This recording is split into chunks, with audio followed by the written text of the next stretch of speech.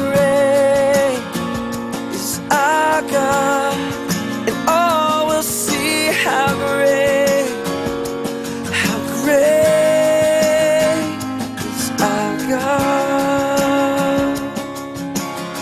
Hello, I uh, I'm thank uh, God for uh, this uh, opportunity that God gives give me for the for this uh, bless so we would like to uh, telling you I'm Pastor Gustave Jean Truman from Haiti. Uh, we need uh, this uh, truck for our ministry, for the churches, for the people. We have uh, many people under the tent. Then you believe God uh, uh, give us this bless for them also bless with us. I thank God and I thank also Pastor Steve Upchair. Uh, so you know, you know, I'm also uh, uh, Peacemakers International, but uh, Pastor Steve he uh, would give me this uh, truck. So Sheila make the fundraising for us to get the truck shipped to Haiti. We thank God in Jesus' name. Hi, my name is Sheila Smith. I've been with Pastor Gustav Truman since 1999. I um, have taken his children to be sponsored for $25 a month. We take the children and have them sponsored to school, the only way that they can get an education. Um, it's so sad to see that in Haiti, the children there beg for education and it costs to get in. And here in America, our children half of the time don't even want to go to school.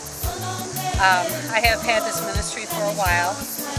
We have opened up an orphanage. We bought 10 acres of land, opened up a two-room orphanage, and um, come to find out a few years later, there was an inheritance of some people from Jacmel, Haiti, that came in, said that they owned that land, and after months and months of fighting in courts, they had won. So throughout all the work you do for Haiti, so many times it doesn't end or it never feels as prosperous as you want it to be.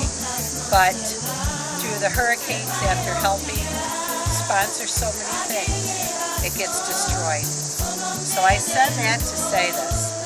This is our dump truck that had been donated to Pastor Steve Upshire from Peacemakers International. We had this truck, and this is our second outreach to our fundraiser, excuse me, to go ahead and raise the money.